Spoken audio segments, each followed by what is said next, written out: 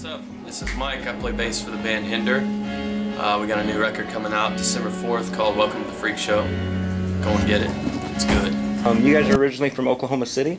Yes, yeah, all of us are from Oklahoma. Uh, one of the guys is out from in the panhandle of Oklahoma, but everybody as a whole based in Oklahoma City. Right, very cool. And uh, I was reading, doing a little bit of research, and I came across the uh, Hall of Fame, Oklahoma Hall of Fame. You guys were voted into in 2007. Is that correct? Yeah, that was really cool. Um, yeah, we went down. We did an acoustic show. Um, got in there as a new artist, I guess, category in the Hall of Fame. So yeah, it was. Right. It was and that, and that was based off of the first record. Yes. Yeah, that was I think in 06, whatever. Very cool. Congratulations on that. Yeah, thank you. Very cool. And uh, where's your tour taking you from here?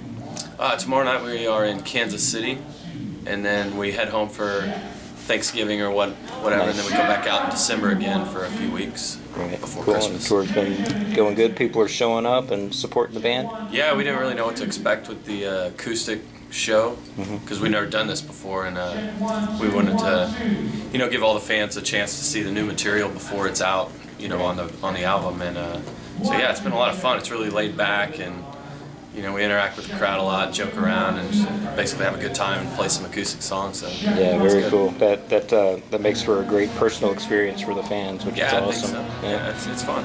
Very cool. And one of one of the things about MusicCon is we actually want to kind of bring that to light to the fans. You know, get them a little bit more personally involved, get them face to face with the bands.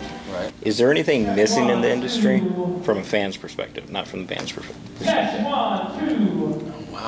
Um, Is there is there anything else that we could put in from from an industry perspective that would get their attention, reignite their flame? I, I think more stuff like this. I think a lot of times, uh, whenever, you know, like bands that I'm a fan of, you know, I, I go and I go and watch the shows, and uh, you never really get to interact with the crowds as far as like super big bands. Like they're always in arenas. You go, you watch the show, and you get filed out the door.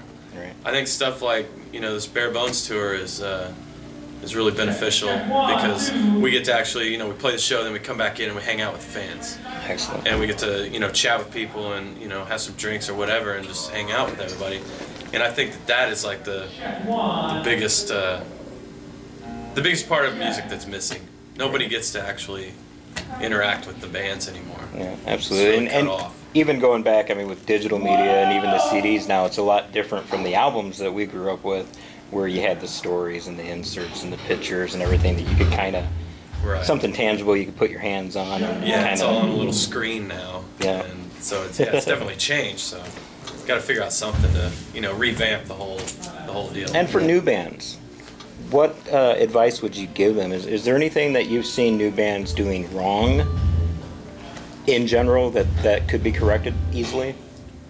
I don't know if I don't know necessarily if it's wrong or not, but in my opinion, uh, you know, a lot of bands are trying to get signed by the big label. They're trying to you know get the record deal and all that stuff. And the you know the industry has progressed so much now that you don't need a label to do you know to do music. Like you record it all yourself at home with Pro Tools or whatever. You know, it's the same as going and spending thousands of dollars in a studio Right. just do it yourself. You don't need a label to do it. All they're going to do is take money from you.